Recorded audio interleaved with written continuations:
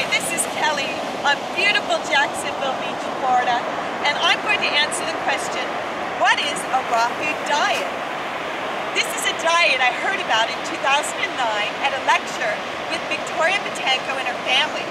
She's the uh, raw food guru. She wrote a book called um, Green for Life, and I went to hear her lecture in Houston, Texas, and I was blown away. I wrote all about it in my memoir called From Hollywood to God. You can look for it on Amazon. But now I'm going to just tell you a little bit about my story with raw food. She said it's easier to go 100% raw than to mix it up and have a little bit of raw one meal and then a cooked meal another for another meal. So my husband and I went 100% raw. And it wasn't even that hard because your mind starts thinking, I'm hungry, I need to look for my next raw meal. So what is raw meal? It is mostly organic. We try to be as organic as possible. It's all live food. The idea of cooking food at past 114 to 118 kills all the enzymes. And the enzymes are what digest your food and it's what you use to process the nutrients in your body. And it's also a synthesis for DNA. Hey David, take it away. What does that mean? Sure. So every seven years you replace all the cells in your body. During the seven years your cells have to repair themselves, the DNA does, and they use enzymes to green and uh, raw food to do it. And then when they replace themselves at the end of seven years, they also use enzymes so they can properly replicate and you don't get mutations. And get this, this is so fascinating. Are going to get your protein from on a raw food diet?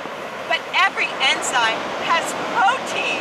And so you're going, they're going straight into your body, the protein, and it's being utilized to heal and to repair and to restore and to give you all the nutrients from the live fresh food.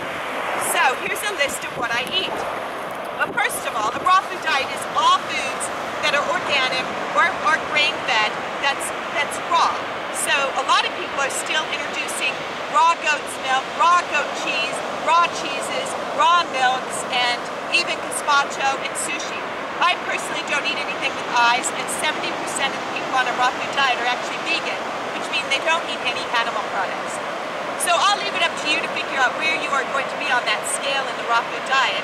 But if you have some weight to lose or you're not feeling high on life like I feel, you might want to give the raw food diet 100% try for 30 days. So here's what I do. I wake up in the morning and I drink a pound of green leaves a day. This is a pound of kale. This is what I drank this morning in some orange juice.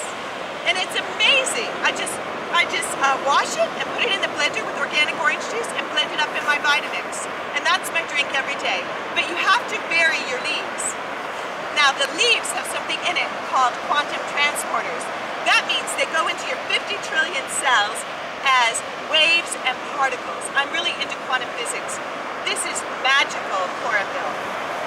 If you have asthma, it will open your lungs. It is an anti-inflammatory, a blood purifier, and a nutrient. And it detoxes your 50 trillion cells from all of the pollutants we're exposed to during the day. The chlorophyll is my secret. I have dandelions, bok choy, kale. Um, the wilder your leaves, wilder the better.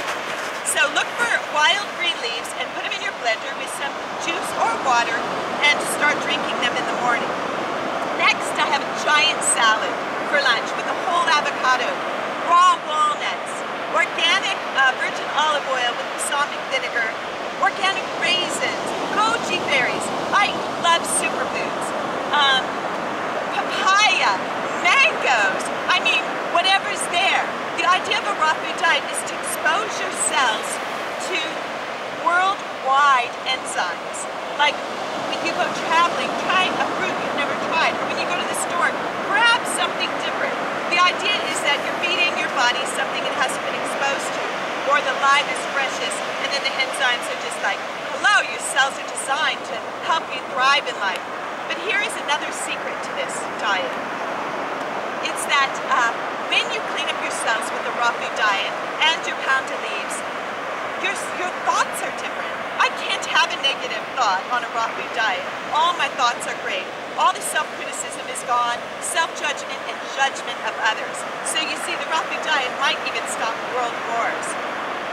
also, okay, so here's what I might have for dinner. I might have a seaweed salad. I might even go to a Japanese restaurant and order two seaweed salads, then take it home, and put it in a giant bowl for my dinner. Basically, you get creative. There's also a way to warm it up up to 114 in a dehydrator. So if you want like to blend up some tomatoes in a blender and uh, add a little honey to make it sweet, you can warm this up to 114 before it kills the enzymes. So past 118 is called dead food. We don't eat any of that. Dead food is like empty cell, empty calories, and the enzymes are all dead. Anyway, I hope this helped. Uh, look for sprouts, grains, raw nuts, all organic if possible, um, and give it a try. And if you liked this, if you found this interesting, please hit like and subscribe because I'm going to take you on an incredible raw food journey with me where I'm hoping, and I think this is happening, I'm reversing aging. That, now that is something.